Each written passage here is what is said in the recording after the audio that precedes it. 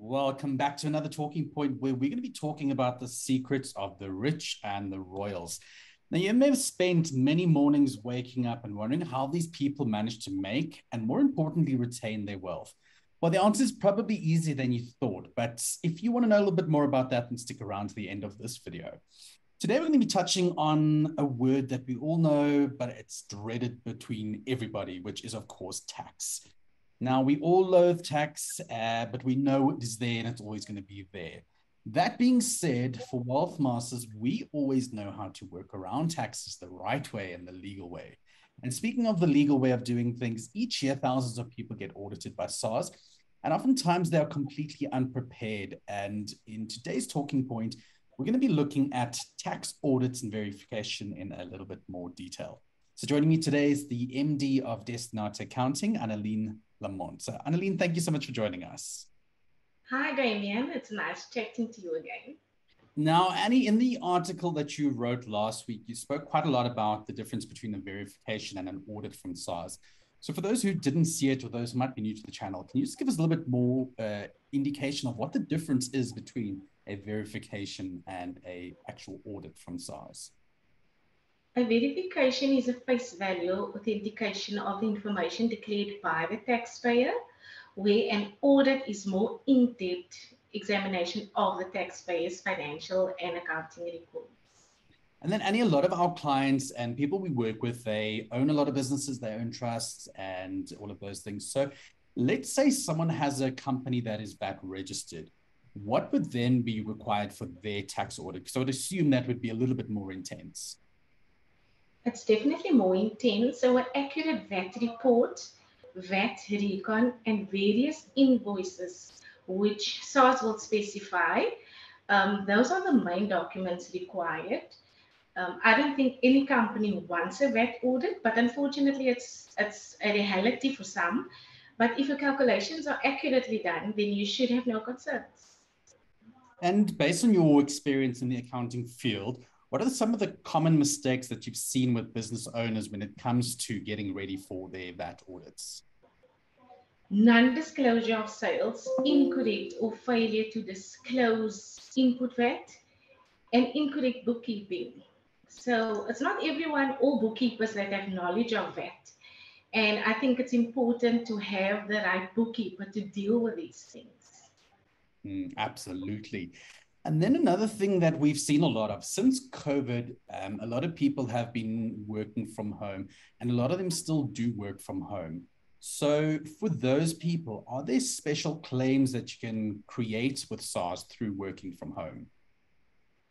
You definitely can claim home office expenses. However, the space must be equipped for office use only. Um, SARS can request a floor plan, pictures of office spaces, um, depreciation schedules, if applicable, and internet and telephone invoices. So these documents are very important to have on hand. And before your accountant do your tax returns, make sure you send all this information to your accountant. Now, Annie, of course, at the Wealth Masters Club, our core focus in the group is on property purchased in specialized trusts. So, how would a trust need to prepare for a inevitable SARS audit? So the, this is very important because some people do lack in sending us this information. Luckily, we have good admin staff who constantly contact our clients to get all the information in.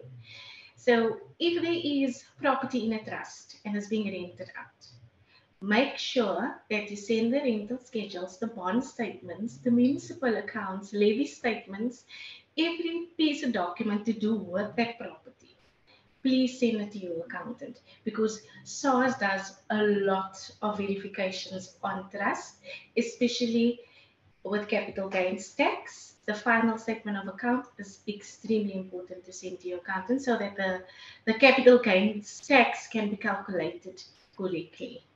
The SARS are zooming in on trust and you need to send all your documentation through to your accountants. Right, Annie. And then the last question I've got we've spoken a lot today about documentation and things that need to be supplied and what needs to go where. So obviously the biggest tip is making sure that you've got the right accountant or bookkeeper helping you with your taxes when it comes to an audit.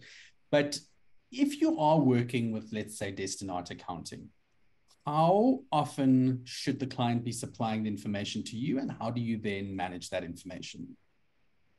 I suggest they send it to us on a monthly basis as we have a server where we save all the supporting documents and we have it on hand in case of a SARS audit. Fantastic. Annie, thank you so much for the time and your insights today. And if you at home want to find out more about the Wealth Masters Way or how we can answer the question of how do the rich and the royals make and keep their wealth, then you need to register for our online free training courses, which are coming up. Now, at the time of recording this, we have ended all training for 2022, but we've been absolutely inundated with requests to extend our free training online from January. So you spoke and we listened. So if you click on the link in the description below, then you can register for our training, which will be taking place in January. And like I said, it is absolutely free.